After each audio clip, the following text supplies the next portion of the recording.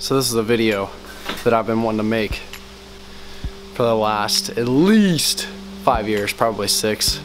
Tomorrow's my my two week notice. Tomorrow is it. I talked to my boss the other day. I'm I'm serious. I talked to my boss the other day and for like an hour. He missed a meeting. We were outside and I was telling him I was like, "Man, I'm trying to do this thing. I'm trying to travel around with the van that I built and YouTube, Facebook, Instagram, like everything just down every day, upload every day. Low key before I was stressed about it, I was tripping, but I mean now it's not even a thing because he's He he's he's all for me, 100. percent You're- you're I'm starting. Yeah, What, what's the date? October 16th, You're retiring, 2019. You're, you're uh, leaving on Halloween. My last day is Halloween for my job that I've been working at for six years now. So I've been I've been tripping out about this for a long time and I've been patient and I've been saving and I've been buying stuff that I need and I haven't been overbuying. I've been low-key prepping for this for a long forever. And um, building my van. See? He's all hyped up about his little car that he's building.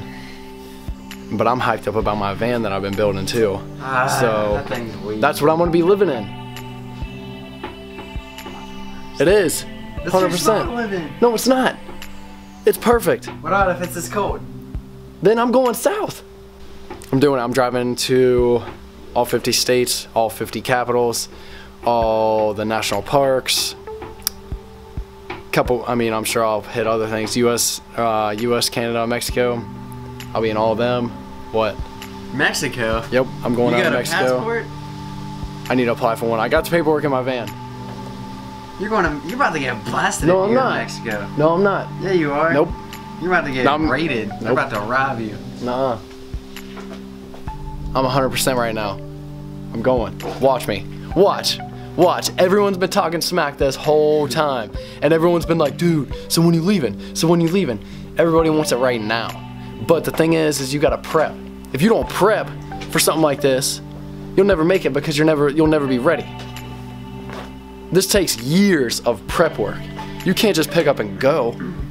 You gotta have you gotta have all your all your resources in check and your vehicle has to be like ready to go and um, you got to be ready you got to financially mentally that's a that's a big one mentally it's taken me a long time to get to the point to where I'm comfortable with quitting my job and doing this